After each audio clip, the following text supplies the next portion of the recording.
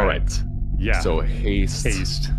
Yeah. There's no chance I could ever play an unhasted DK ever again. I absolutely hate the dropping a healer argument uh, because it's it's the wrong expansion for that. There's no there's no there's no way that even if you have a thousand percent mastery that you would ever drop a healer because of the tank damage.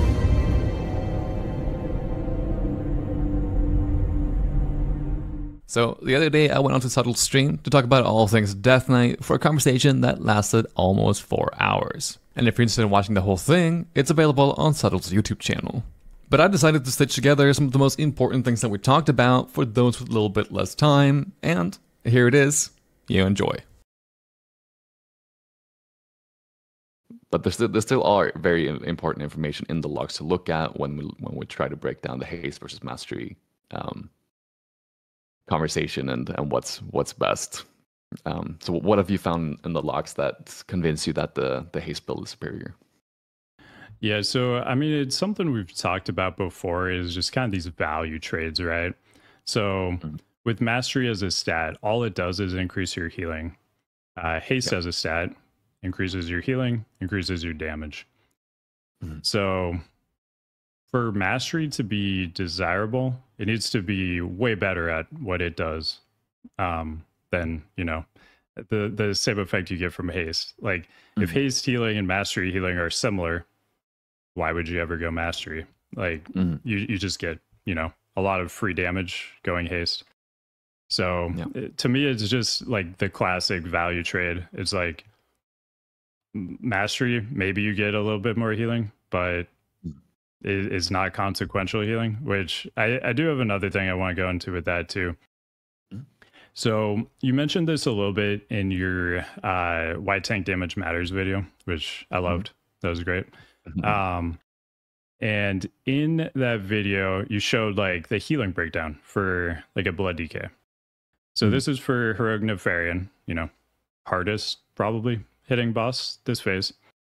Uh, so you see, as a blood DK, I did 56.5% of the healing I received. Yep.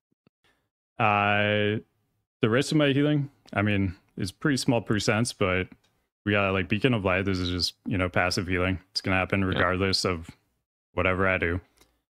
I've got hots rolling on me. This is just happening. they're gonna not- they're gonna be there. They're they're Regardless of what they're gonna be there. um, I'm getting some atonement healing. This there is an argument that like yeah I could you know get uh heal myself more so that the atonement healing goes to other people more, but Opportunity cost. This is, uh, yeah. you know the it's a very small percent of uh you know the healing I'm receiving. And then uh, we have like Earth Shield, Riptide. Uh, th- there's very few like direct cast heals uh, being cast on Blood DKs ever, which Mhm. is something I don't think a lot of people realize. Like the typical Blood DK healing breakdown is like you do 50 to, 50 to 60% of your own healing. And then you Mhm. get beacon heals, you get some hots, you get some atonement healing. And then occasionally you get a direct heal here and there. When I see people like talk about blood DK like healing received, it seems like they haven't really looked at this because like Mhm. they're they're talking about like oh like man if you add you know ten percent more mastery you could drop a healer. And I'm like Right. have, no. have, have Yeah. you looked at like our healing breakdown here? Like there's almost never like direct heals cast on us. Like how are we dropping a healer here? I absolutely hate the dropping a healer argument because it's it's the wrong expansion for that. There's no there's no there's no way that even if you have a thousand percent mastery that you would ever drop a healer because of the tank damage. Yeah. Like I mean, Blood DK is just so self-sustaining is actually insane. Like when I point this out to people, like people, their minds is like explode. Like mm-hmm. like they they're like, holy shit, how how are Blood DKs not getting nerfed? Like they do fifty to sixty percent of their own healing. Yeah, Um that's another, another conversation. Right. um yeah so i mean part of this uh bringing it back to like the mastery haste stuff Yeah. is that look at this overhealing so th- keep in mind this is all healing that's happening regardless this, this is just happening Like there's no like, oh, if he has a 10%, 10% more mastery, we don't need to use that heal on him. Well, Th- this is all this is all healing that's already happening. A lot of what the extra mastery is going to do is just going to push more of this passive healing into overhealing.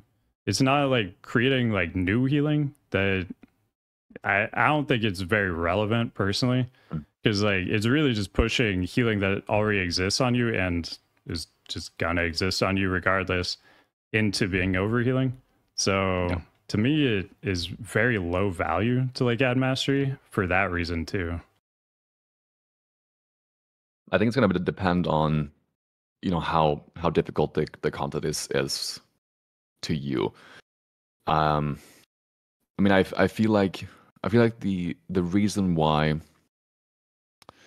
this has kind of you know blown up, if you will, in the DK community, where a lot of people are very against the sentiment that you have, is perhaps because the argument is stated as such that haste is better than mastery. And when you think in, in the terms of haste is better than mastery, then the argument is, then the argument, the perceived argument is that, okay, so if I want to be the best DK I can be and get the most healing I can and reduce all the stress from the healers, then then haste is the best option, which I don't personally think it is um, we don't really have the conclusive arguments or the conclusive data to to back up it one way or another. But I think if you want to go for complete defensiveness, uh, then you're still better off going mastery. Uh, that's just the the the when I've been looking at the data, that's kind of the the route that I um, fall you know fall down. That that's a better giving you a better overall healing and defensiveness, but there is absolutely zero need to go that far deep into defensiveness and the trade-offs that you're making for that is is huge. As we can see like by the breakdown you know the hardest hitting boss in the game 25 minute heroic rating you barely taking any healing whatsoever. Uh, so why not convert some of that into a more useful stat that's still giving you some healing a pretty decent amount of healing as well because you do get a few extra death strikes every every fight, which is very valuable. Also smooths out the the damage intake a little bit, um, while also getting giving you huge gains in the offensive section. Uh, I think for some reasons we'll talk about a little bit later, and some talent choices and whatnot. Um, while also making your your class a hell of a lot more fun to play. Uh, I think that's a that's a, a factor that people have been sleeping on. Just being able to spam your buttons Definitely. harder is a lot more fun than waiting for waiting with empty globals. Yeah, they they're just sitting around waiting for runes to come up play style. Man, I- Yep. there's no chance I could ever play an unhasted DK ever again. It's just it is not it. it ain't it. It ain't it. So moving the haste conversation from the defensive uh, uh, perspective, why is haste such a good stat offensively, other than just giving you more spells per per minute? Um, I, I I know that there's quite a, some some quite nice interactions uh, with with haste and some of our our our talent trees and chance stuff like that. But uh, but how, what's uh where do you come down on on the the value of of haste offensively? Yeah, so uh, to me, after like hit cap and expertise soft cap, I Mhm. it seems to perform the best for just pure damage uh, after those points. Um, I mean, you get faster uh, white attacks, and we have what three different proc talents um, between like Crimson Scourge, uh, BCB, and uh, Bloodworms. So you're getting those extra procs uh, with Scent of Blood. You're getting more melee hits off that give you Scent of Blood, give you 10 runic power. That then turn into rune strikes. That then turn into death strikes.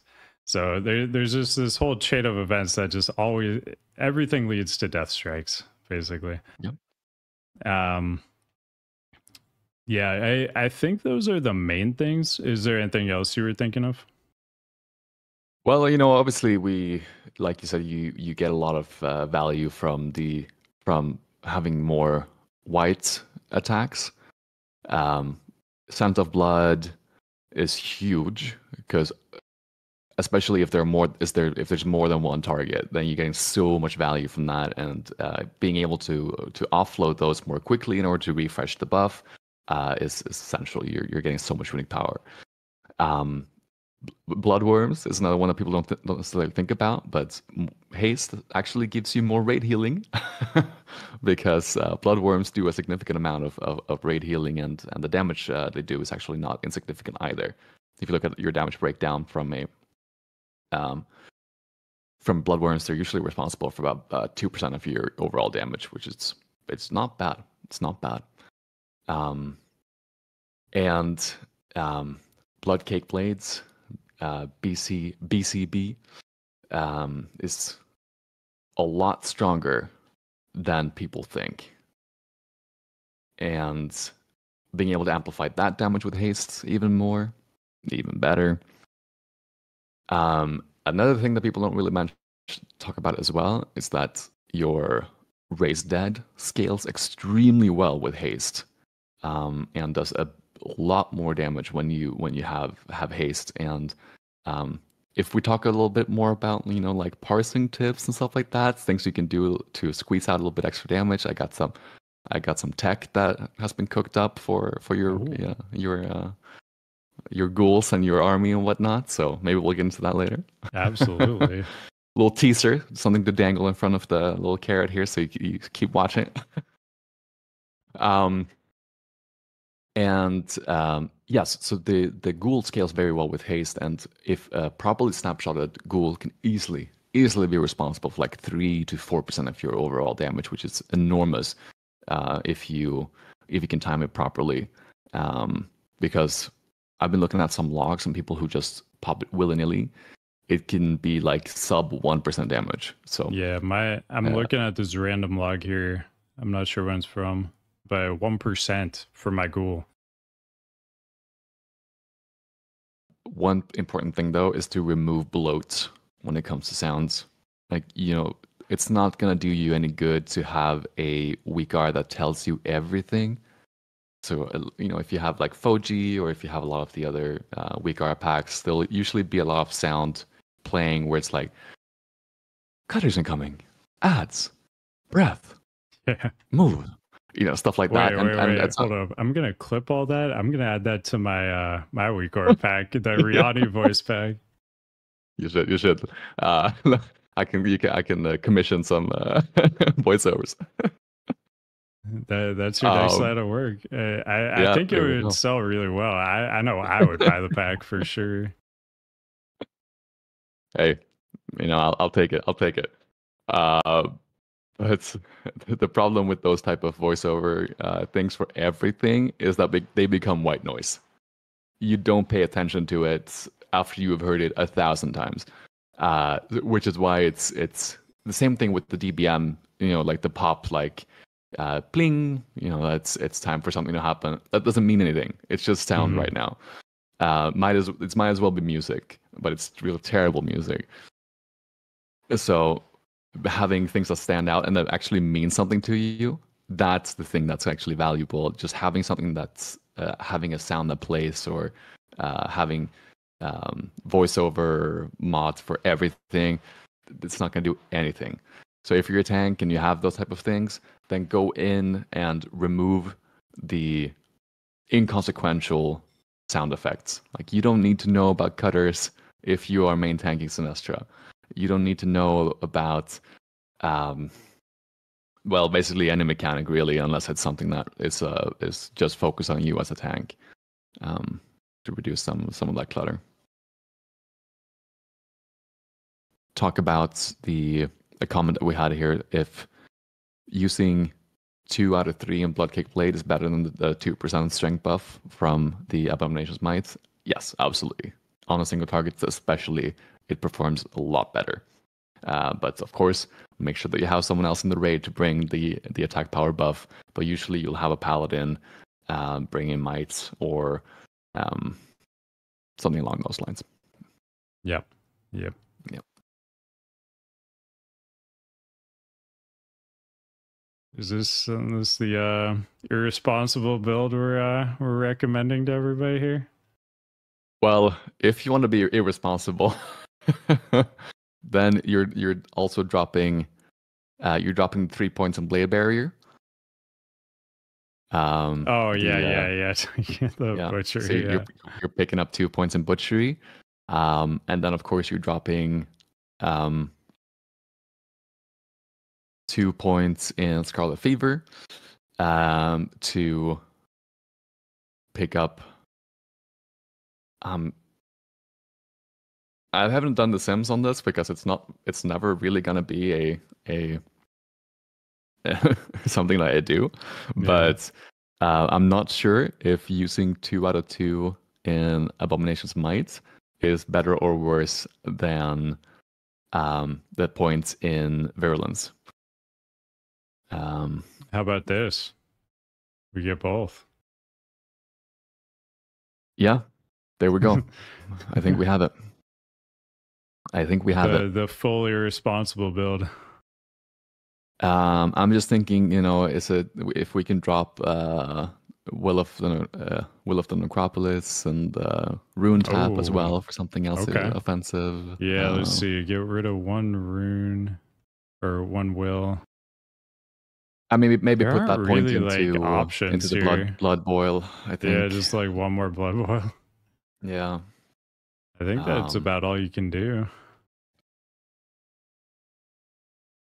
Right now, I've just been uh, basically doing what you described. Uh, you know, army, horn, pot.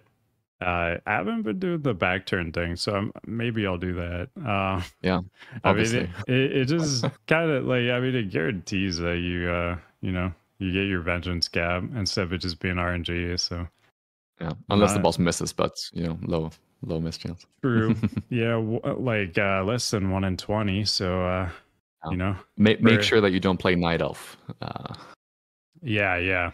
Official Riyani recommendation: Do not be a night elf, uh, bloody K. Uh, uh, so yeah, and then uh, then I'm doing uh, DSHS, um, uh, uh, dancing rune weapon, uh, DSHS, uh, empower, DSHS, DS. Mm. Um, And and at that point, you are at 100, or you're Yeah. at 130 runic power. yeah, yeah, you're you're Yeah. capped at that point. So then at that Yeah. point, what I've been doing is, I, I think at this point you have like basically three seconds left on DRW, something like that. So Hmm. then I'm doing like rune strike, and then hopefully it's a rune refresh. You know, Hmm. uh, close to coin flip chance you get the rune refresh. Combo blood tap with that to throw a death strike uh, wi- as your like final dancing rune weapon ability, or if you get unlucky, then just throw a heart strike uh, Mhm. to make sure you get some ability going out for that final one. And then, of course, you know, when we talk about snapshotting, uh, the ghoul it's scales primarily of haste. That's the biggest amplifier for it, and then strength is the other amplifier, not attack power. So using cap, waiting to cap your vengeance for your pets doesn't do anything. Um, so it's you want to pay attention to your fallen crusader proc, and you want to pay attention to your, you know, obviously your trinkets and pot and stuff like that. Um, and then you know attack speed modifiers with the bloodlust and whatnot. Um, but as we as we mentioned that haste is the biggest amplifier for um, for your your pets. Your on like not your active pets, like if you're a, an unholy DK or whatever, but your your on use ones. Uh, brings us to the the secret tech, the uh, the uh, the pre pull tech. So, um, this will depend a little bit on whether or not you're using a. If you're using a on, or two rather, if you're using two trinkets that are either activate trinkets, like how I have a, a one trinket that is um, a on use that I use my dancing rune weapon, and then I have one one trinket that is a proc trinket, uh, solace. Um, so that and so un- unless you have two trinkets like that, like I do, um, then you can trinket swap before the fight. And there is one trinket in the game that has an insane amount of haste on use. And that is the Shard of Woe from Sinestra. That trinket has, I think it's 2,100 haste uh, on use. And uh, you can use that, pop army, swap back to your normal trinkets, and snapshot your your army on pull that way. And it does this. It's kind of quite a, quite a significant uh, damage boost. Damn. Okay, that's big tech. One little trick um, I don't think a lot of people know about is that you can uh, you can AMS the green buff from Maloriak. So once you get the pushback and uh, you get 100% damage increase taken, you can pop Yeah. AMS and you don't get the buff. Ooh, that's a Um, big one. I didn't know about that. Yeah.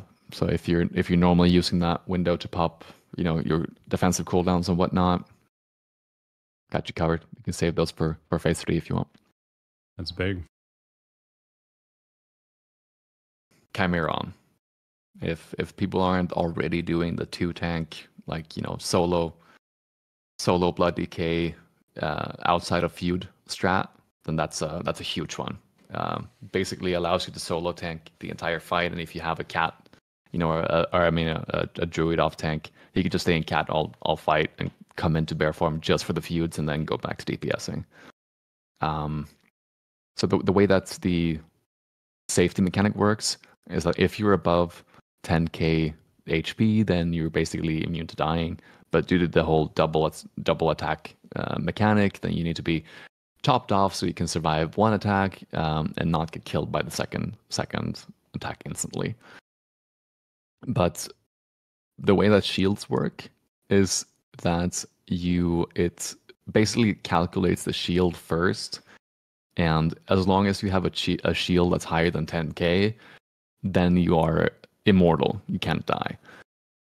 So as long as you're a DK uh, who has a blood shield up during the the double attack animation, once you once the boss gets up buff, you you can't die. It doesn't matter if you have a million uh, break stacks or if you have uh, you know zero. Uh, the outcome is the same.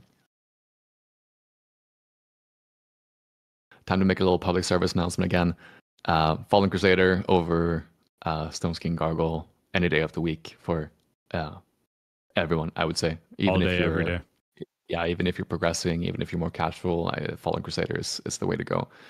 Um, and uh, yeah, that's not that's not a dangerous, reckless tip. That just it, it ends up being the pretty equivalent defensively, but you just get the damage for free. So first one was how do you use WoW Sims as a tank to determine best gear upgrades? Which number, which item makes you do highest number? Exactly. Um, not really. I think it's difficult to use the use sims to to sim for defensiveness because there's so many variabilities to consider. Um, you can definitely sim two items and look at okay, is my chance of death going up by seven percent? My damage taken is being higher, and I'm not really getting any additional healing from from my my the changing in the gear. Probably that's not a that's not a very good sign. Um, that being said, if you're if you're swapping out some gear and it makes you take 200 less damage per second, but gives you 200 more healing per second, um, then that becomes a little bit more difficult because then you have to account for okay, what type of fight am I simming? Uh, how how much of a issue is just physical damage mitigation on this fight. Like I can I can take swings from Nefarian all day, um, but it's ultimately the magic damage that matters. So it doesn't really make a difference if I get some more more dodge and parry because that's in, inconsequential damage. Um, but then also, okay, how is the healing uh, received portion um, gained as well? Um, is that consequential at all, or is it just extra overhealing, or is it um, you know problems with the sim, or it's uh yeah it's it's it's difficult. I think for defensiveness, I think a lot of it's a lot of like intuitiveness and having knowledge about the fights uh, and what's what's required defensively just gets you the gets you the furthest, in my opinion. We went over so much more in those four hours, so if you want to check out the whole thing, head over to Subtle's YouTube channel to say hello and make sure to subscribe while you're there. But that's all for now. Thank you very much for watching. Until next time.